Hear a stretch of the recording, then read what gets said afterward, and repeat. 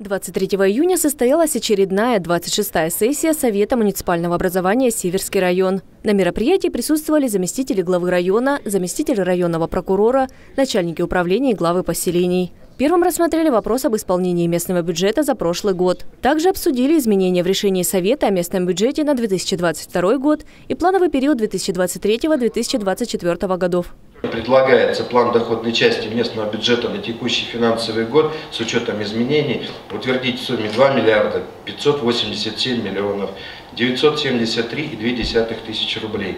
Расходную часть местного бюджета с учетом предлагаемых изменений в сумме 2 миллиарда 790 миллионов 15,5 тысяч рублей. С дефицитом в сумме 202 миллиона 42,3 тысяч рублей.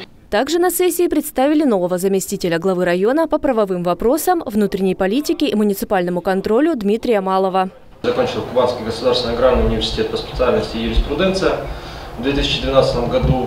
Э, в 2013 году э, прошел службу вооруженных после Института вооруженных сил Российской Федерации, после чего осуществлял трудовую, постоянно осуществлял трудовую деятельность, период обучения в институте тоже Э, осуществлял трудовую деятельность. Все эти годы я работал по специальности, по э, юристам.